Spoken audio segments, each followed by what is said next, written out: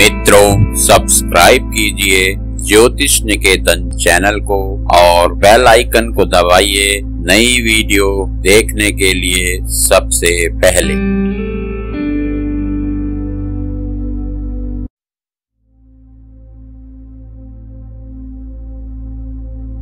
मित्रों, नमस्कार। आज सकारात्मक सोच की बात करेंगे। दूसरों की आलोचना करें या नहीं?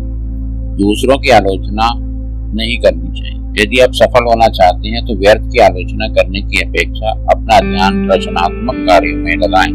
आलोचना करने एवं सुनने में समय और शक्ति दोनों नष्ट होती है। आपका क्षेत्र भी घटता है और व्यर्थ की उलझने भी बढ़ जाती हैं।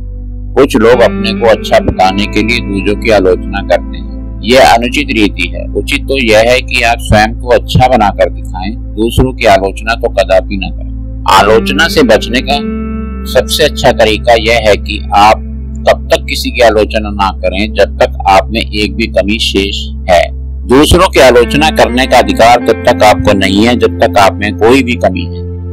आलोचना करना जितना हानिकारक है, उससे कहीं अधिक आलोचना सुनना। जब कोई व्यक्ति आपके सम्मुख दूसरों की आलोचना करता है तो वह आपके मन को खराब करके व्यर्थ की उलझनी उत्पन्न करता है।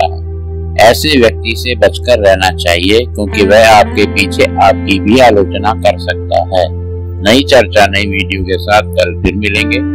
जय हिंद दोस्तों।